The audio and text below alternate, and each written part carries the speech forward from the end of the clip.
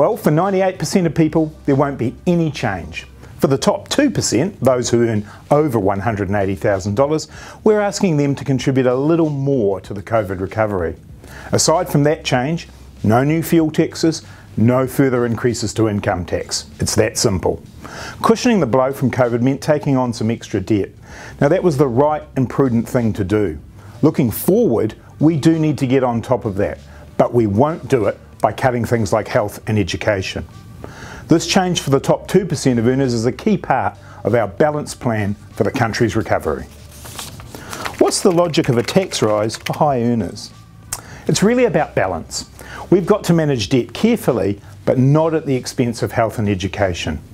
Cushioning the blow of COVID meant the government had to borrow. That paid for things like our wage subsidy, which protected jobs and incomes for around 1.7 million people. Because of our strong starting position, our overall debt is still much lower than most other countries, but we still need to get it back down so future generations have the same choices that we did. Will I pay more tax? If you're earning $180,000 or less, then no, you'll pay no more tax. So for 98% of New Zealanders, that means no change. For those earning over $180,000, then for every dollar above that, they'll pay a slightly higher rate, 39%.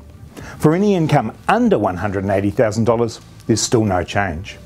And it's important to remember here that we're talking about individual income, not family or household income.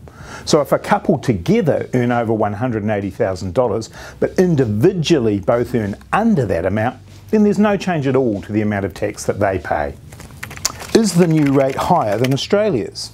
No, the top tax rate in Australia is higher than what we're proposing.